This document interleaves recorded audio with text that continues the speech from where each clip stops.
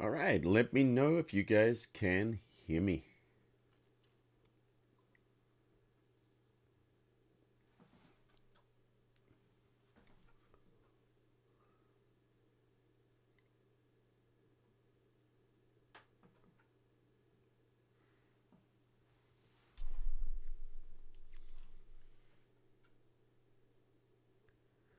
Glad to hear it, Stuart. So, can you guys hear me all right? Let me know as soon as I know you can hear me. We are gonna we're gonna kick this off. You can hear me? Thank you, Joe. Loud and clear. Awesome, awesome. I'm just gonna cut through to me. Hi. So I'm not gonna run the intro this week Um because we're doing uh, a LFL mini is what I'm calling it. So what is an LFL mini?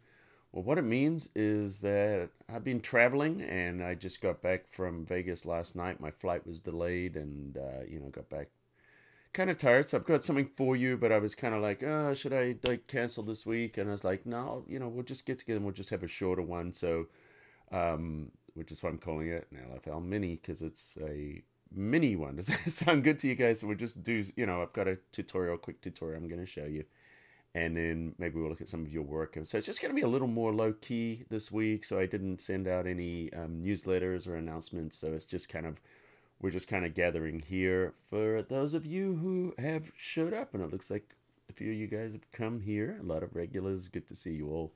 And Stuart, I hope you feel better. Um, Kiora, um, with your uh, COVID. Sorry to hear you got that. Now um, I'm fine. I'm healthy and everything. right now I'm just tired. Um, and if you, I was actually at WPPI, so it was at my first real um, event, uh, trade event, you know, photography trade show, whatever. And it was great to catch up with a bunch of friends and everything like that. But if you guys have been, been to Vegas, you know how it is the dry air, your throat gets all jacked up, and, you know, and late nights, and, you know, you know how it is. I'm sure you all know how it is. All right, so good to see everybody kind of coming in, which is why, yeah, just been just kind of greeting you guys, you know, since we're here, more people kind of trickling in right now. So um, it was really good, though. Um, you know, just to give you guys a, a, recap, you know, like going back, it was really amazing. Um, the trade show because you know I basically went there just to see some friends because it's a forty minute flight, it's very close from here, and you know so I got to see Julieanne and Jesus Ramirez and you know Kristina Sherk and Lisa Carney and you know and other friends of mine you know in the industry. Pratik showed up. I don't know. You know you guys probably know something. Aaron Nace, of course. You know so we got to hang out and just kind of uh, you know got to see my my friends and some of them I hadn't seen in a long time and it was just a really nice feeling like the trade show wasn't huge, um, but it was a really nice interaction because everybody was like their first show back, and everybody was just really happy to see everyone. So it was just really good time of just kind of hanging out. You know, haven't really done that in a long time, so so that was kind of nice. Um, you know, too bad Bruce wasn't with us this time. Yeah, um, you know, because he's gone. You know, done many shows with me, many many of them over the years. But all right, guys. So um, looks like we've got got a few of us kind of coming in. So what I figured I'm going to do is I've got something for you. So I did something interesting. Where's my camera? Yeah, here it is. So you guys can see here. So I don't know, you go on a trip, right? And you grab your gear. And I was like, okay, I got my camera and I'm just going to bring one lens. I just want to travel light and easy. And I wasn't even sure if I was going to need it. But, you know, I got a mic and stuff in case I want to do interviews and stuff. So I thought I slept on my zoom lens. It's like, I don't know, an 18 to 105 or something. I was like, okay, I got my 18 105, you know, it, will shoot whatever I want. And so what I've got here is actually going to be relevant with what we're going to teach. Um, so I got there and I was like, you know, I, I should take my camera out and shoot some pictures. So I pulled it out and guess which lens I traveled with? Um, I bought the 90 millimeter macro. Yeah, so that was the lens I had. I was like, really? I bought my macro lens. So, um, you know, and it's actually kind of interesting. You can do some pretty good portraits and stuff with this macro, but you've either got to get really far away from things or really close to them if you want anything to work. So I thought, you know, I shot some different things, and let me switch over to the screen right now. So there's there's a reason for this. Um, let me go to the screen. Here we go. So with the macro lens, this is why you know we got this focus stacking is what we're going to be doing. So here we are in Lightroom. So I, I just kind of figured I wanted to go out and just kind of do some things. So I shot, you know, a bunch of different pictures. I mean, I could show you if you want, but it doesn't really matter. But so I was at the Caesars Palace, and they have the, you know these different statues outside. And I wanted to do a little bit of um, macro work. So if you look at this, I got a couple of shots here. Now, the thing about the, you know, the macro has a very, very, very shallow depth of field. So I'm able to get, see this top part here is nice and focused. Look at this. You can see this beautiful texture. Look at that. Nice and focused, nice and sharp, beautiful texture.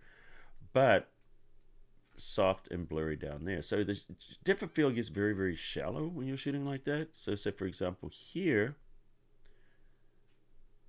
see the difference between the two there? Blurry, and now we've got it nice and sharp here but then it gets blurry once it gets up the top. See how that gets out of focus. So that's one of the challenges when you're shooting any kind of uh, macro work is you want to kind of get those lined up. The other thing is, uh, this was handheld, so if you look at it, see how they're not even perfectly lined up. I'm just standing there holding the camera, taking the shot. So what I want to do is I want to put these two together into one photograph. Now we can do this so easily in Photoshop. Uh, I, I know like people can take a long time to do it by hand, masking and all this kind of stuff. So let's go ahead. So I've got the two photos selected here and I'm in Lightroom because these are raw files from the Sony A1. So these are 50 megapixel raw files. Uh, you could do this from Camera Raw too, of course. So I see I like this is nice and sharp there, soft here, you know, so just it's not getting the whole thing sharp obviously. So I'm going to right click with these two selected and I'm going to choose edit in but I want to go to Photoshop. But I, I know I'm going to combine the two of them into one document. So rather than opening them as separate images and then dragging the image over, we can do this directly by choosing to open as layers in Photoshop. So when we do that, we click open in layers. And then what it does is we can see here, now it's just going to open up the two images, one on top of each other.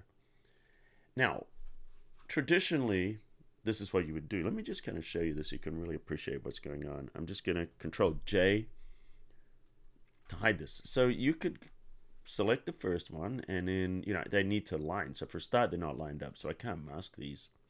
So what I would need to do is go into difference blend mode. Now it's interesting because I used to, by the way, here's a little tip for those of you who don't know it. I used to bring the opacity down and then try and line things up like that. That sort of works too, but if you go into a difference blend mode, it's so much easier to see the two layers and you can just kind of drag them on top of each other. And when they cancel each other out, it means it's perfectly aligned.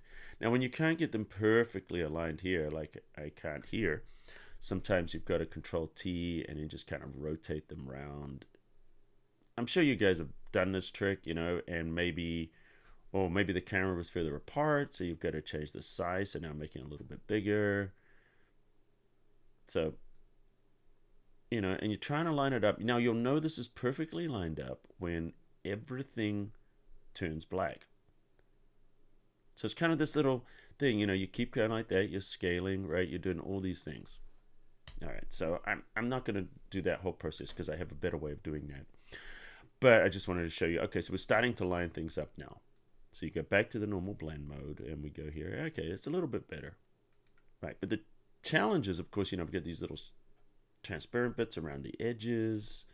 But then the next thing you would do is you would create a mask and then you would just start to mask it off. You would start to paint it out. So you're like, okay, where's it sharp underneath? Oh, it's sharp up here. So you go on there and then you would grab a black brush. Just and then you would paint over there, you know, on the black brush, trying to get an area that might be sharper. And uh, where are we at? 40% flow. Let's bring up to 100% flow. There we go. And now you're starting to kind of get the texture from the other one. This is this is essentially what we're going to be doing, but I'm going to show you how to automate all of this. All right. So then we go in here. No, that's not good. Let's go with this one. So you start to figure out which parts of which image is in focus and you just kind of start to mask them together and definitely that's that's got better but let's undo all of that and then I'm just going to show you how easy it is to do this inside of Photoshop and if you just joined us welcome um, and hit that like button uh, helps us with the YouTube algorithm and glad you guys could all join here um, please turn the mic volume up. Can you guys not hear? Let me bring the mic a little closer to my mouth. I apologize. Is that better? Let me know if you can hear me better now. Um, part of it might be to my voice. I'm not like yelling because it's uh, a little tired right now. All right, so what we're going to do now is we've got these two. So what we need to do is we need to align these. We need to mask them. And we need to get rid of the transparent edges to make everything nice. So let me show you. I'm just going to select them both.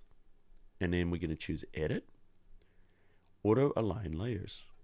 Now, the Auto Align is going to come up and I'm just going to use Auto. I'm not going to do anything else. I'm just going to click on Auto. There. And now if we look at this before and after, look at that. Now it's perfectly lined up. Now the bottom looks different because you can see this is blurry. So of course there's more of an edge. It expands the edges, you know, whereas when it's sharp, it brings them in tighter. So you can see part of the photo is sharp here, part of it's blurry, part of it's sharp here, part of it's blurry. So we've done the first step, we've aligned them. So now we can mask them. Now we need to mask them together, find all the sharp areas on each photo, put those together, and look at these edges. So we either need to crop that or we need to do some kind of content aware fill. All right, let's go to the next step. We're going to choose edit and we're going to choose to auto blend layers. Now auto blend is how you create panoramas in Photoshop, but also we can stack them. So we're going to turn on stacking and we're going to turn on content aware transparent areas. So this is actually going to just automatically do all the masking and fill those edges for us. Watch this. Click OK. And we just give it a little little moment here. Photoshop is thinking. And look at that. So it shows these selections around the areas that content aware filled. If that's a word, Control D turns that off. So we look, there's our image. Now it's created a new layer on top where it's got the sharp part from all the photos. And um, let's zoom in, see if we see the texture down here. And we go up the top here, the texture's nice up there. It looks like it, did that mask that or is that just the way the screen is going because I zoomed in and out? That could could be a refresh or the content aware fill at the top. Okay, so that's that's fine. But you can kind of see how we can just do all of that. No, there we go. That was just a screen refresh issue. So there we go. So we were able to do that. Now I was only using two images. If I wanted to get every part of this photo perfectly sharp, then you just take more exposures and you just set the exposure for different parts of the image. So, you know, this is just, I just wanted to show you just how easy it is to do it, you know, just on a very, very simple photo. And in photo stacking, of course, you know, like some macro photographers will shoot a hundred or more photos to create something really big. But uh, yeah, that's essentially how that works. So um, let me know if you guys have any questions on that. Uh, if you find that useful. Good to good to see you all here, by the way. And Bruce is in the house. Alistair is in the house. We've got Susan. We've got Rod Shelley, Orcapest, Hannah, uh, good to see you, Zach. Multimedia, Chris, Philip, Susan, Kirsty, uh, Stuart, of course, and uh, Polka Dot Studio. I see you there, Greg. Um, so lots, lots of regulars. I, I figured that pretty much we're going to get the regulars in the house here. Rolf, good to see you, Alistair, because um, you know this week is just a quick um, we're just doing this just quick little tutorial here because I didn't I didn't want to just not do anything this week. I figured let's get together, uh, have our, a little hangout and do that. Now, one of the things I am going to cut through to now though is some of the images that you guys have posted in our group this week. Um, Bruce, if you have the link handy for our Facebook group, please uh, post that. And uh, if if you don't, it's just go to Facebook and then it's a Photo, Photoshop Cafe. Search for Photoshop Cafe and you'll see it's Photoshop Cafe um, art and challenges or something like that. You'll you'll find it there's Photoshop Cafe and I will accept your um, request and then you guys can go in there. So this is the work that you guys have posted in the last week. So uh, let's have a look. Well, at least the ones I selected. So there we go. Bruce has put that link there in the chat. And so Tony, I like what you've done here. You've and I like the you know the the mood here. You've got this nice rainy mood, but it's like a sun shower. It's nice and, and sunny as well. um, in the foreground, and then we got some weather going on here. Um, that's just kind of a cool. I, I think it's just kind of a cool effect. It looks good. All right, let's move on. Leo, I like that. I really like the composition in this. It's really nice. You're in a cave, and we're looking out, and um, and this is this is really neat. And I guess we got this big, massive moon, um, or a bowl or sphere because it, it is kind of in front of the trees. But that that's okay. It's it's a nice concept here and uh, but the composition is really what I liked about this. The lights and darks, like really great use of contrast. Uh, so you know, good job on the composition there. All right, Hannah found this uh, steam car stock, and I see you've got some camels there in the background, and uh, here with the steam car, the old uh, film camera, safari kind of hat, and everything is fun. Looks looks good. Uh, nice job there with this. I think it's fun. And uh, I, if you're there, just say hi if I show your work. And I see you there, Tony. All right, so this one here, Martina Caladine. Martina Caladine. If you're there, uh, let us know. I see you use Boris FX optics there. You use the uh, the HUD overlays. I like what you did here. It's a kind of a Tetris effect. That's pretty neat, very clever. I like that. And um, of course, you know, some stormtroopers, you know, Imperial Stormtrooper, love it. Um, yeah, good. Kind of a sci fi composition. It's kind of fun. Good job. And Bonnie. Bonnie, are you here? Love this um, composite. Let me get myself off the screen so you guys can actually see. Got the bear doing the painting, and uh, you've got the uh, birds outside and everything like that. Nice, nice composite. And uh, yeah. So I like that. I like your colors too and the other thing I like about this too is your your textures. Your textures and colors are looking good. All right. And then uh, Russ I don't know if you're here playing around Photoshop and Luminar Neo how many of you actually uh, use Luminar let me know if you guys use that uh, someone's in Whangarei oh Rosie welcome Welcome from Whangarei, Northland, New Zealand. Good to see you. Um, so yeah, this is this is just kind of fun playing chess with each other. And you know what I like is that you know the uh, the little animals here, you know the the black and white animals playing chess, and I don't know if that was planned, but you know the black and white chess pieces kind of going with it. Uh, that's nice. And then um, tuned up. So this is Randy um, used to go by Randy Tunes actually, um, but I, I, know that Randy's now doing a lot of these vehicles. And so these are illustrations that he's doing. He's so good. Like I love his illustration work. Look at that, that really cool truck with the dinosaur. Love it. Kind of has a Jurassic Park, but a little bit of humor going on there. Um, Orcopus uses uh, Luminar. So thank you, Randy, for sharing this. Um, always love seeing your illustration work. It's really good. And Dana, these textures are really cool. I love the detail in the textures and the nice color that you've got going on here. Um, you know, I just it has a nice dimension to it because I see you've got some nice little shadows and stuff going on here. Um, it's clean, you know, it's nice, very clean, nice use of textures there. That's something I could see printed out and uh, hanging in a, a lobby or in somebody's home. You know, would make a nice, very nice print actually. Um, so thank you for sharing that.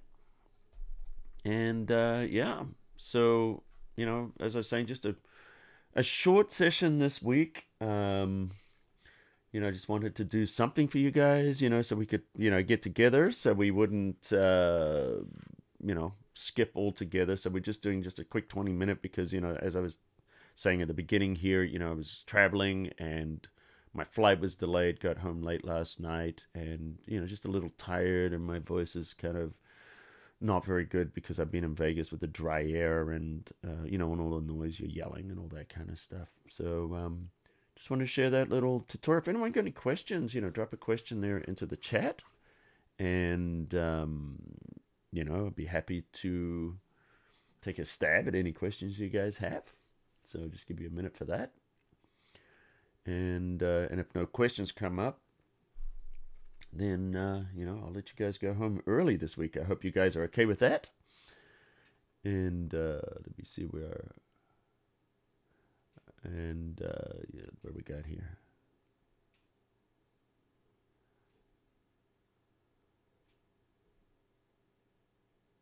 Waiting, waiting, waiting. Thank you for doing a little something. It was good to see you here today. Well, thank you, William. Thank you for joining us. And uh, what do we got here? Thanks. Well, thanks for coming, guys. You know, I'm really appreciate that you were here. I haven't done a fix my photo in a while. I know, Zach. Um, maybe let me run the fix my photo intro just so I can do that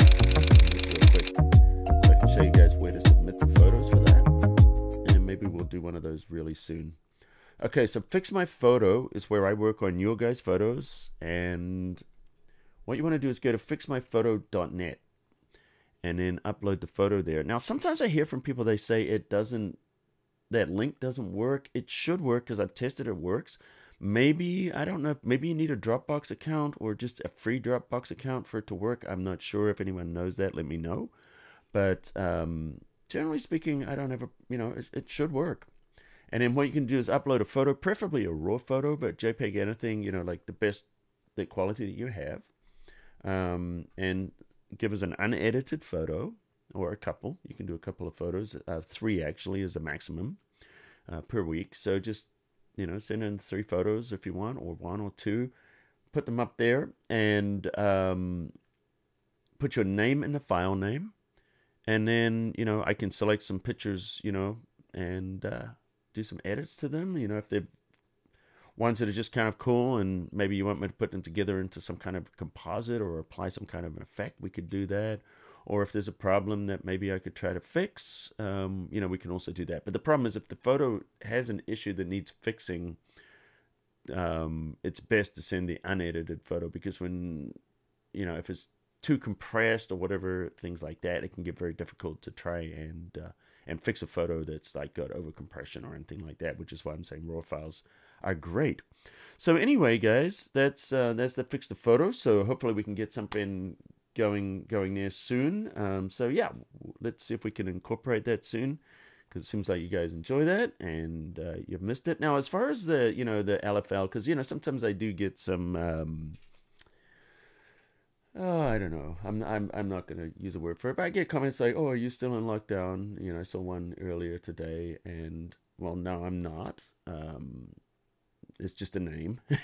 we started life from lockdown, you know, when everything went into lockdown. So, yeah, we haven't got around to changing the name yet. Um, and, you know, it's something at some point we're going to do. We will, uh, you know, kind of change it up. But for now, it's, um, it's just a name. And, um, you know, it's a lot of work to change it. You know, you got to come up a name, you got to create all the animations and all that kind of stuff, and you know, all that. So, um, but the name's just kind of stuck with us. So I don't know what you guys think. I've got some different ideas. I've been kind of kicking around for names, uh, but I do know, you know, am I in lockdown? No, but you know, some places are, um, you know, kind of come and go. But I believe it's starting to open up, you know, more in pretty much most of the world now. So anyway, so that's that's just the thing. I just want to throw that out there with that um, because you know, pretty much every week, you know, when I post it, I get someone will make a comment. Are you still on lockdown? Um, and the funny thing is, they were saying that like two months ago when half the world was in lockdown. but anyway, um, so what we got here? Let's have a look what you guys got here. Here's our. Let me bring the comments section onto the screen and let me go to the desktop here. All right, so here we are. Rod Shelley, it's good to get together, however short. It's been a stressful week. Good. I'm glad um, that you were able to get there, and you're welcome, TR, for the tip, and same with Polkadot Studio. Uh, what do we got here? If you have an optics license, go to support download and download. oh yeah, if you guys, um, thanks Klaus. Uh, yeah, so I know I did hear from some people, and they said they was had trouble with optics, Boris FX optics getting the update. So what you got to do is you go to the Boris FX website, log into your account there, and then under your account it will show your support period. And if it's less than a year, you can download the uh, the new version for free. And if you have a subscription, you can also download it for free. But you're not going to update it through the app. You actually have to go into your account there and download it because Boris FX 2020, uh, not Boris FX Optics 2022 is a new install. So it's not it's not an update, it's an install. So just go to their website, download it, install it, and you should be good. So there we go. I didn't send out, Laurie, I didn't send out an email notice notification today. Um, so that's why you wouldn't have received one because I just wanted to do, that's why I called it a LFL mini because it's just a, a mini kind of get together. Whoever kind of showed up, showed up. I wasn't doing this as an official LFL. So that's kind of why we did that. Bruce, the link does not work. Um, I don't know like why it works for some people and why it doesn't work for some people as far as that link for the uh, fix my photo i would su- suggest like maybe try using a different web browser and let me tr um, do you have a dropbox account because maybe i'm guessing it's because i'm using dropbox that if you don't have an account that you can't upload to it and uh, you don't have to do a paid account just a free account maybe that's it i don't know you guys let me know if you're having issues with it Dana says LFL is fine. Rod Shelley, nothing simple anymore. I, I don't think anything ever was simple. uh, Wayne, I can paste a vector file in Photoshop from Illustrator, but can I open an Illustrator file and keep the vector?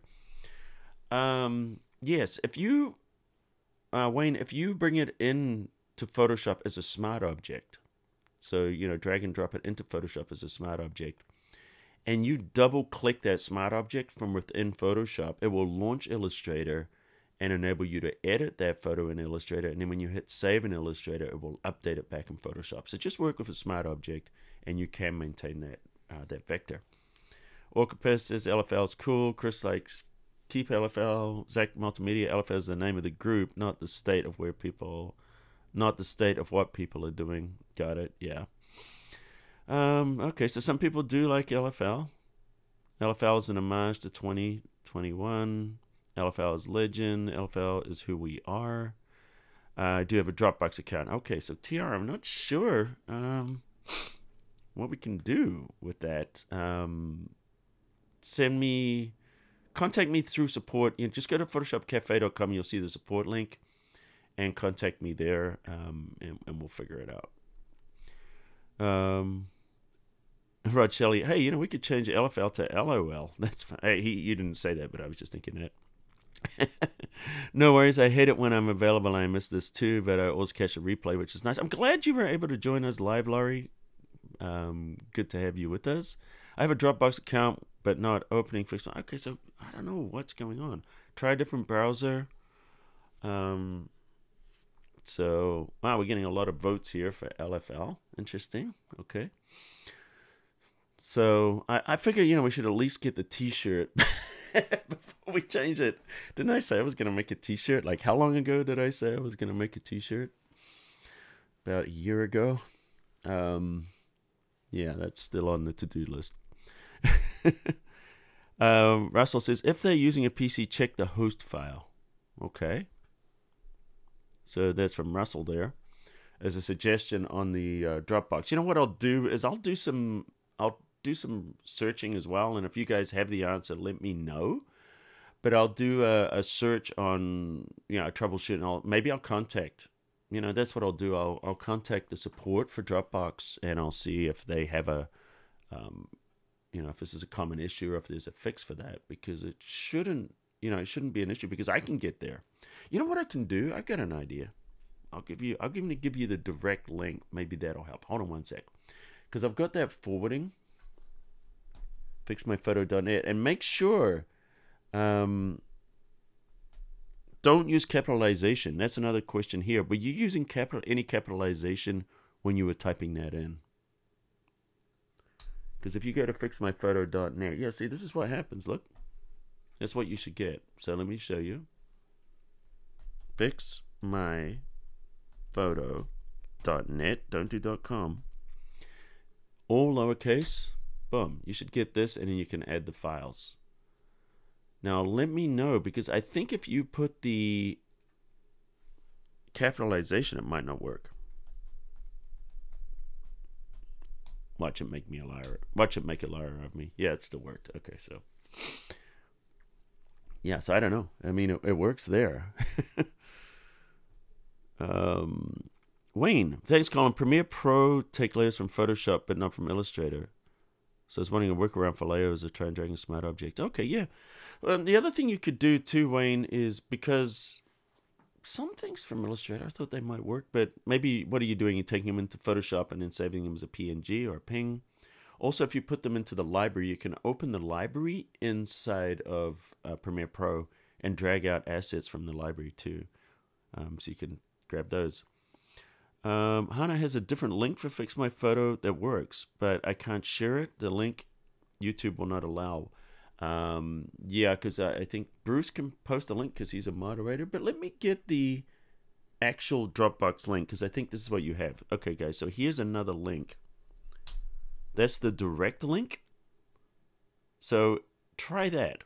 Um, and, and I'll just wait while you try it. For those of you who are not able to go to fixmyphoto.net, what happens if you click on that link? Does that work? Let me know.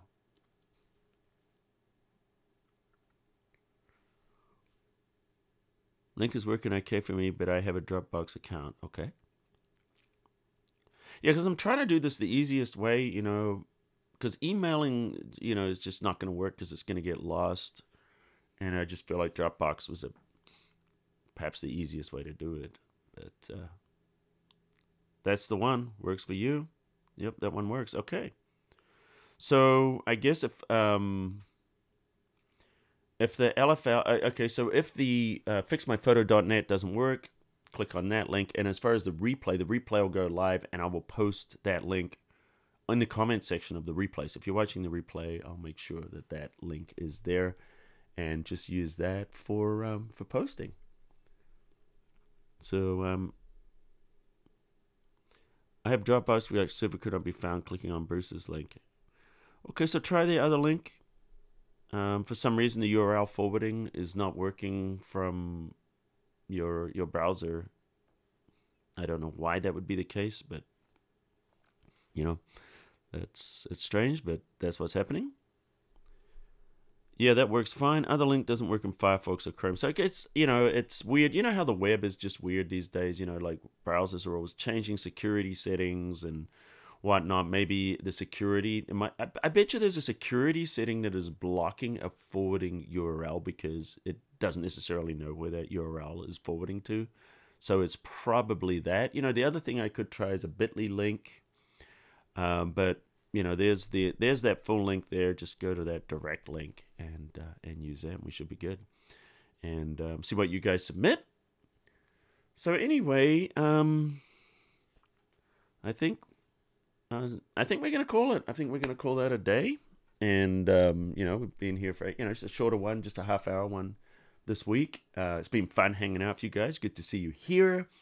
And um, you know, we will be back next week for a full LFL. And uh, yeah, until then, good to see you guys. Stay safe, and we will see you at the cafe.